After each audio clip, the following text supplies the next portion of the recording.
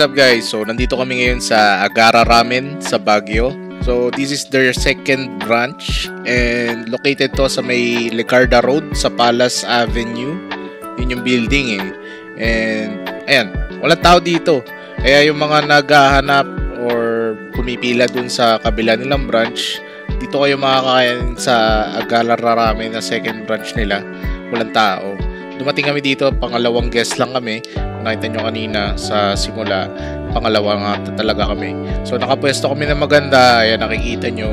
Um, nakakapanood kami nung kung paano piniprepare yung pagkain. So isa sa mga in-order namin yung hirata buns. So yung pinili namin is yung classic kasi hindi nga naman namin alam yung pinagkaiba. Actually yun lang talaga yung nakaset na orderin namin yung buns and then yung ramen Medyo busog kami nung pumunta kami dito pero kailangan namin mag-lunch. Late lunch na to eh, mga around uh, 2 p.m. na kami pumunta dito. So akala namin may mga tao and ayan, nakita nyo na na-blowtorch ni Kuya yung uh, anong tawag dito? Chashu. Pero pork shoulder ba to? Ayun ko, basta yun. Mas mga ramen experts dyan. Kung ano man yan. Kaya nang bala. And then, ayan, yung pork na yun is papalaman dun sa Hirata Buns. So, isa to sa mga best sellers nila. Kaya talagang uh, kumuha kami kahit medyo busog na. Hindi naman kami sa busog na busog, pero hindi kami yung gutom. So, ayun yung asawa ko. Siyempre, picturean mo para sumarap. So, ayun yung Hirata Buns na classic. Napakasimple lang nitong Hirata Buns na to eh. Meron siyang binutbot na, hindi ko alam kung cheese to eh, pero hindi, hindi lasang cheese pero bun lang siya, yung white bun na parang pancake na tinapay. And then lettuce, yung pork, and then may dalawa siyang sauce, yung white, and then yung brown. Ayan. Masarap talaga tong hirata bun. So, nagustuhan din ng asawa ko, and ako din, nagustuhan ko. And yung brown sauce na sinasabi ko, yun talaga yung palagay ko nagdala at saka yung pork. Yung pork talagang masarap eh. Talagang maganda rin pagkakaluto. Itong mga clips na nakuha ko talaga na to, hindi ko inaasahan na makukuha ko kasi kami lang yung tao eh. So kinapalang ko na yung mukha ko para videoan sila ate at saka kuya. Palagay ko nga medyo naiilang sila habang bibidyo kasi palagay ko bago lang din talaga tong ano na to eh, tong branch na to. So nakita ko kasi sa Facebook nung kinagabihan the day before uh, na may bago talaga na ano na branch tong Agara matagal-tagal na rin kami nagpaplano na kumain dito or the whole trip, yung Baguio trip na ulitin. Kasi the last time na nagpunta kami sa Baguio, yung video ko na yung sa Mirage, yung first video with Mirage uh, na umakyat sa Baguio. Yun yun. Masama yung panahon eh hindi talaga kami nakagala nun.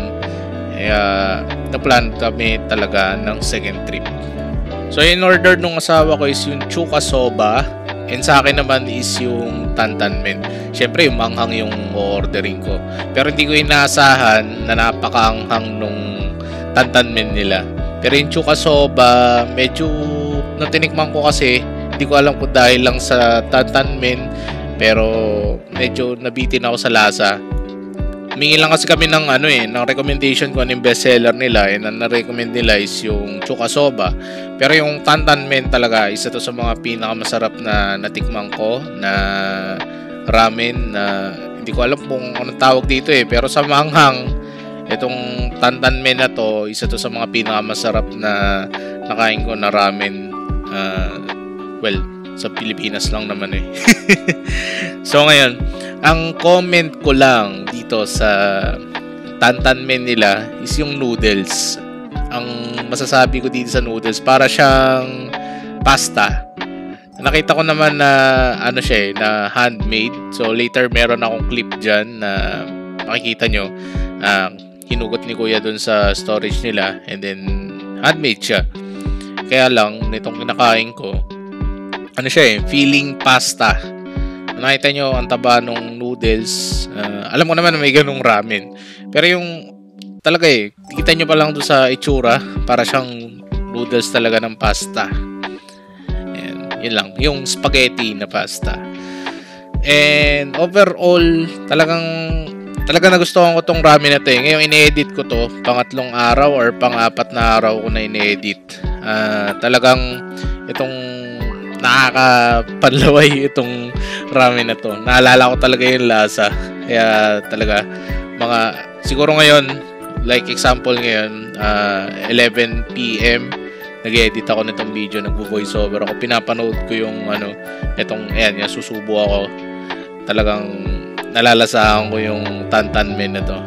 And ibang klase talaga. Hindi ko rin inaasahan na sobrang anghang nitong Tantan Men nila. Kasi from dun sa mga nakain ko na Tantan Men sa mga sulok-sulok, dun sa may pinuntahan kami sa BGC na hindi ramen na gina may Tantan Men, ito yung pinakamanghang. Talagang pinagpawisan ako dito. Hindi ko inaasahan na ganun. Eh, hindi siya ganong, ano, hindi ko alam kung lahat ng tantanmen parang may lasang gata. Pero ito, ano lang, parang ramen talaga ng ramen. Well, kasi yung ramenagi yung benchmark ko ng ramen eh. So, yun, pinaka-close dun sa manghang na ramen ng ramenagi. Ayun, ang gulo, di ba? Yung kasi yung benchmark ko ng ano, ng ramen, yung sa ramenagi. So, gusto ko lang sabihin sa inyo na maraming salamat sa panonood. So, kung nakarating kayo dito sa part ng video na to, please do like and subscribe para masundan nyo yung kwento ng channel ko, yung channel ng buhay ko. ayan, so, ayan. Maraming salamat. Ang accommodation pala namin ay yung Travelite Express malapit sa Legarda. So meron nun sa may malapit sa Burnham eh. Yun yung ina-expect ko na makuha namin. Pero dito kami napunta. Mare-recommend ko siya kasi convenient, malapit dun sa Burnham and walking distance din talaga. Pero maraming mas malapit dun. So ito lang talaga nakuha namin Agoda, walang kahirap-hirap and maganda yung parking. And bukod sa lahat pala, may free buffet na breakfast yung Agoda dun sa Abacus na restaurant dun sa ilalim ng hotel, sa baba ng hotel. So, yun yung pinaka hindi inaasahan na bonus talaga dun sa trip. So, hindi ko inaasahan na ganong buffet na level yung free breakfast nila. And yan, very enjoyable. So, gusto ko pa rin talaga ma-experience yung Agara Ramen doon sa original branch nila. Pero yung, yung anong tawag doon? ambience dito, yung ang tawag ng mga millennial aesthetic. Ayan, aesthetics the word. Uh, yun yung nagustuhan ko dito sa Agara Ramen na second branch. So, kung pupunta kayo sa Baguio, kung ayaw nyo nung wait, kung hindi pa man maraming pumipila at this moment, uh, ayun, mas marirecommend ko tong lugar na to kaysa dun sa isa. Una sa lahat, aircon. Alam ko dun sa isa, hindi yata eh. Or mas mainit. And, ayun, talagang puntahan nyo to. Kasi ako, ito napuntahan ko eh. So, dito kayo pumunta. Ayun, baka naman nag-aaral ramen, baka next time. So, tapos na yung video natin guys. Maraming salamat sa panonood. And kung hindi nyo pa napapanood yung unang part ng Baguio trip natin, which is about sa Mitsubishi Mirage 2022, kung gaano siya kasulit or kung ano yung pinagdaanan namin para makarating dito sa Baguio City. Um, panoorin nyo lang yung video before dito sa video natin about sa Agara Ramen. So maraming salamat ulit sa panonood and hopefully panoorin nyo rin yung next video natin about sa random clips natin dito sa Baguio. So thank you very much everyone. See you on our next video.